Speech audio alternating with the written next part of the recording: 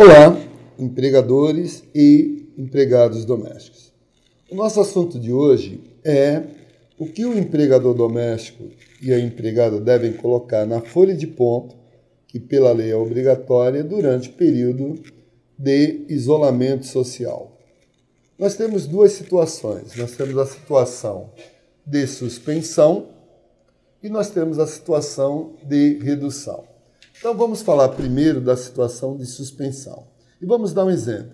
Vamos dizer que a minha empregada ficou suspensa integralmente de 1 de maio a 31 de julho. Então, ela ficou os meses de maio, junho e julho.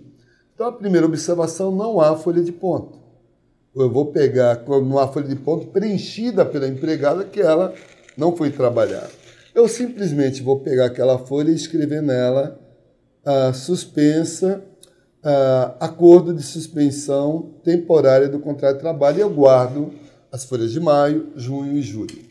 Bem, e no caso de redução? No caso de redução, não. Vamos dar um exemplo que nos meses, novamente, de maio, junho e julho, eu fiz um acordo e reduzimos ah, com a empregada 50% da jornada.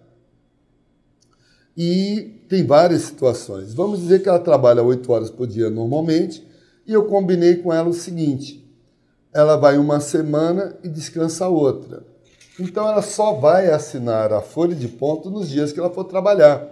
E se naquele dia ela foi trabalhar de vez oito horas, quatro horas, vamos supor que ela entrou às oito da manhã e saiu a meio-dia, a meio -dia, ela coloca a entrada, horário de entrada às oito e horário de saída a meio-dia, sem problema nenhum. E eu posso fazer depois, no final do mês, uma observação que ela ficou suspensa, ficou, teve a jornada de trabalho reduzida uh, pelo acordo da medida provisória 936.